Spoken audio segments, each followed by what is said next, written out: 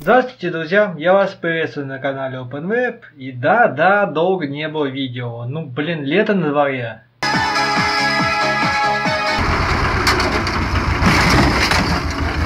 И сегодня в очередной раз я поговорю про тестирование. Почему опять про тестирование? Я вам хочу показать один инструмент, который, я надеюсь, вам облегчит жизнь. Для чего вообще нужны тесты? Понятно, когда вы делаете там маленький сайтик а, или это новый функционал, вы можете спрогнозировать с точностью там не до 100%, как ваша фишка, либо ваш новый там модуль, ваша новая страничка на вашем веб-проекте будет работать. То есть, что если проект уже большой, хотя бы какой-то интернет-магазин, делали не вы, делали соседние команды, делал человек, который ушел, даже делали вы, ну, месяц-два назад, и там был уже какой-то функционал. И здесь вам появилась таска, типа, надо, например, добавить там какое-то новое условие. Вы заходите в код, находите то место, где нужно сделать новый функционал, добавляете туда код, заходите на страничку и вроде как все работает. Но какая вероятность, то, что э, этот функционал не сломает что-то другое на сайте, что не очевидно. Ну, я думаю, 50 на 50 как с анекдотом. Какая вероятность, то, что сейчас НЛО приземлится на Красной площади? 50 на 50. Либо приземлится, либо нет. Также с вашим функционалом. Вас функционал либо поломает какой-то старый функционал, либо нет. Тестировщики, как и, в принципе, разработчики, могут не заметить этого. Ну, сфера того, что не все тест-кейсы можно а, с помощью человеческого разума проверить. А вот автоматический тест, который там прогоняет э, очень много тест-кейсов, может показать вам какие-то проблемные места. То, что вы там поменяли какую-то э, акцию на продукт, и здесь случайным образом в корзине что-то у сломалось. Э, вы не могли, например, обратить внимание на корзину, либо там была какая-нибудь страница с акциями, вы туда не зашли, не обратили внимания.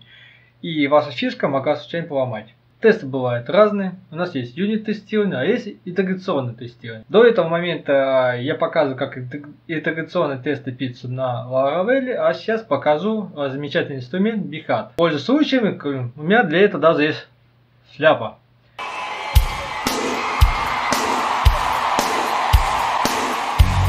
Была бы она красная, я бы рассказал, кто такой Red Hat и что он сделал с CentOS, но у меня только такого цвета есть.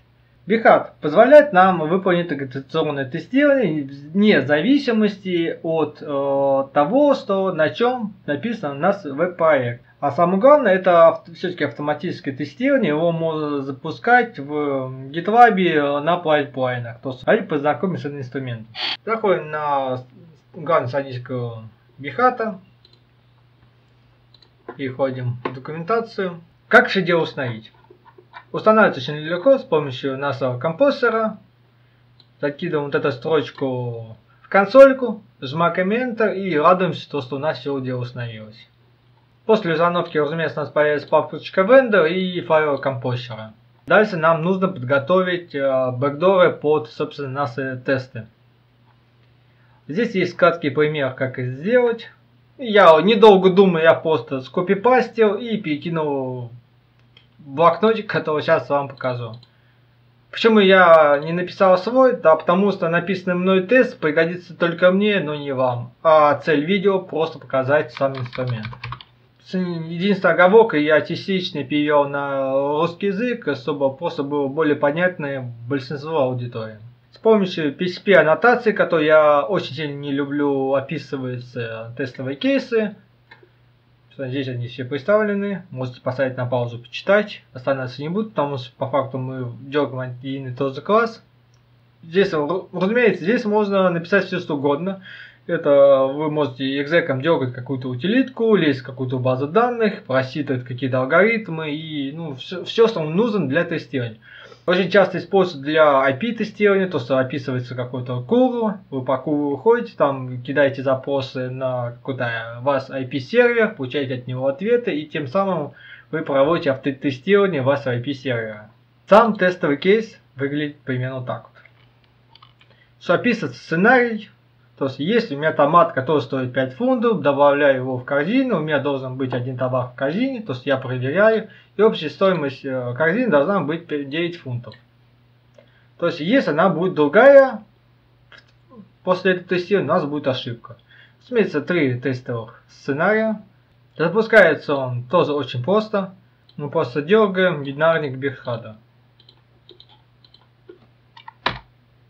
Видим то, что у меня выполнено три сценария, 14 у меня ступенек и 11 из них пропущено.